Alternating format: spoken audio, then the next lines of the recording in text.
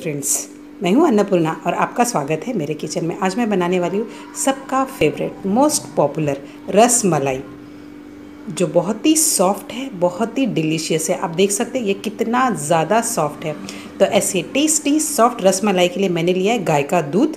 दोनों मिलके ये दो लीटर है और एक कप शक्कर है, कुछ ड्राई फ्रूट है, उसमें काजू, बादाम, पिस्ता और यही इलायची, केसर। उसके अलावा कुछ येलो फ़ूड कलर है कॉर्नफ्लोर एक स्पून है नींबू और ये है विनेगर। दोनों में से आप कोई एक चीज़ इस्तेमाल करना दूध फाड़ने के लिए। अब सबसे पहले मैं रखूँगी छेना बनाने और रबड़ी बनाने के लिए। ये दोनों मिलके दो लीटर दूध है। ये है डेढ़ लीटर से थोड़ा सा था कम है। इसको मैं थोड़ा सा बॉईल होने दूँगी। मैंने इसको अच्छे से बॉईल होने दिया है। अब साइड में मैंने रखा है दूध। इसका मैं बना रही हूँ रेबड़ी। ये आधा लीटर से थोड़ा सा ज़्यादा है। दोनों मिलके दो लीटर है और गाय का दूध है। अब मैंने लिया एक कटोरी, इसमें मैं डाल रही हूँ विनेगर आप चाहो तो नींबू का भी इस्तेमाल कर सकते हो। मैंने दो स्पून विनेगर लिया है। अब इसमें दो स्पून मैं पानी मिक्स कर रही हूँ। अगर आप नींबू भी यूज़ करोगे तो डायरेक्ट नहीं डालना। उसमें पहले अराउंड एक स्पून या दो स्पून पानी डाल के मिक्स करके उसके बाद ही उसे दूध में डालना। अब मैं इसको मिक्स कर रही हूँ दूध में। थोड़ा थोड़ा करके डालना है, एक साथ पूरा नहीं डालना है। चेक करना है, दूध फटा कि नहीं। अभी दूध यहाँ पे फटा नहीं है तो मैं एक स्पून और डाल रही हूँ। जब ये फट जाएगा, उसके बाद मैं नहीं डालूँगी। यहाँ पे मैंने तीन स्पून इस्तेमाल किया है। मैं इन्हें लगातार मिला रही हूँ। आप देख सकते हैं, दो तीन मिनट बाद दूध फट गया है। दूध फट के छेना बन के रेडी है। छेना बनाते समय हमें सावधानी से बनाना। अगर हमारा छेना अच्छे से नहीं बना तो रसमलाई हार्ड बनेगा। अब दूध फट गया है, दूध का पानी ऊपर है, छेना नीचे है। अब यहाँ पे हमारा प्रोसीजर थोड़ा स्पीड करना है। मैंने रखा है एक बाउल बाउल के ऊपर रखा है छन्नी छन्नी के ऊपर मैंने डाला है एक कपड़ा कपड़ा डाल के अब मैं इसमें, हमने जो दूध को फाड़ा है, जिसमें विनेगर डाल के, उसको मैं इसमें डाल रही हूँ। डाल के तुरंत इसके ऊपर हमें ठंडा पानी डालना है। चाहो तो आप जैसे दूध फट जाता है, उसमें कुछ आइस क्यूब भी डाल सकते हो। अब मैं इसको अच्छे से प्रेस कर रही हूँ। प्रेस करके इसका पूरा जो दूध फटने के बाद जो रहता है पानी फटा हुआ दूध का, उसको मैंने नीचे बाउल में लिया, इसका मैं या तो रोटी बनाऊँगी या सब्ज़ी में इस्तेमाल करूँगी।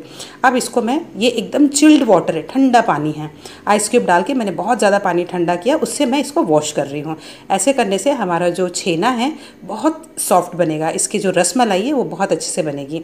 अब मैं इसको अच्छे से धो ली हूँ, धो के अब मैं इसको बाँध रही हूँ। बाँध के इसको एक जगह हैंग करूँगी, पहले दबा के मैं इसका पूरा पानी निकाल रही हूँ। निकाल के मैंने इसे बाँध के हैंग करके रख दिया है। अब मैंने रखा है एक पैन और एक रबड़ी वाले दूध में मैंने डाला है थोड़ा सा शक्कर, एक कप शक्कर मैंने लिया, उसमें से थोड़ा सा रबड़ी में डाला है, बाकी का मैं बना रही हूँ शुगर सिरप, चाशनी। इसमें मैं डाल रही हूँ तीन, साढ़े तीन कप पानी। डाल के मैं इसे चाशनी नहीं बनाऊँगी, सिर्फ़ मैं इसे पिघलाऊँगी। रबड़ी को भी हमें बीच बीच में चलाना है ताकि वो नीचे लगे नहीं। रबड़ी ऑलमोस्ट पक गई है, इसको हमें बहुत ज़्यादा गाढ़ी रबड़ी नहीं बनानी अगर हम बहुत ज़्यादा गाढ़ी बनाएँगे तो रसमलाई उसे सोखेगा नहीं। अब मैंने डाला है केसर केसर डाल के मैं सारे ड्राई फ्रूट्स को बारीक बारीक काट के उसमें डाली हूँ। डाल के मैं थोड़ा सा मिक्स करी हूँ। मिक्स करके अब मैं इसमें डाल रही हूँ कूटी हुई इलायची। डाल के मैं थोड़ा सा दो तीन ड्रॉप येलो कलर डाल रही हूँ। आप चाहो तो स्किप भी कर सकते हो। मैंने येलो कलर डाल के इसे मिक्स कर दिया। अब हमारी रबड़ी बन गई है। आप देख सकते हैं, ये बहुत ज़्यादा गाढ़ी नहीं है। अब मैं इसे ठंडा होने रख दी हूँ।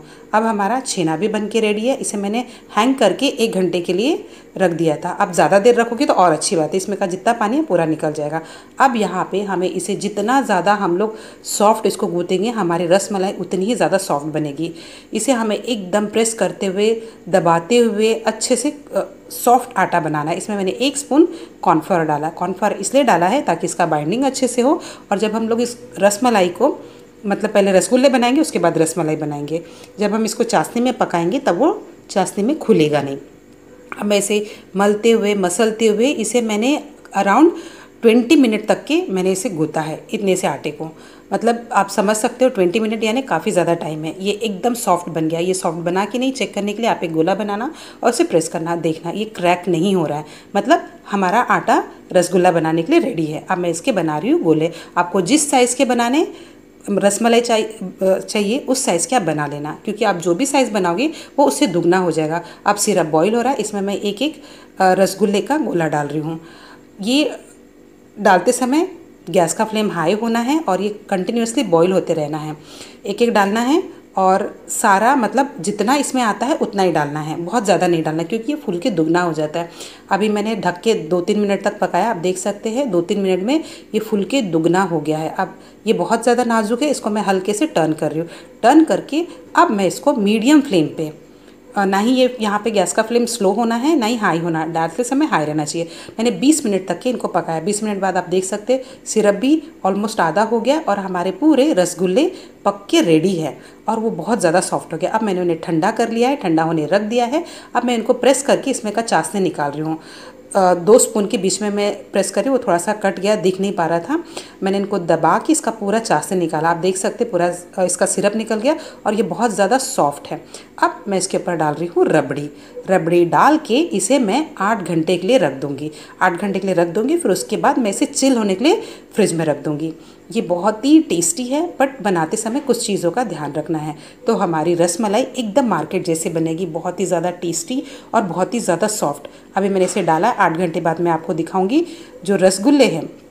रसमलाई को सोख के एकदम सॉफ्ट और दुगने हो चुके रहेंगे। अब आठ घंटे हो गए हैं, उसके अलावा मैंने एक घंटा इसे ठंडा होने के लिए रख दिया था। हमारे बहुत ही टेस्टी, डिलीशियस रसमलाई बन के रेडी है। आप भी इसे बनाइए। अगर अच्छा लगा हो तो लाइक, शेयर और सब्सक्राइब करें। Thank you.